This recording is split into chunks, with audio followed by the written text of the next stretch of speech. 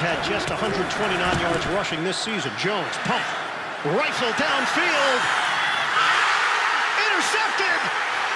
Sliding catch made by Hyde for the pick.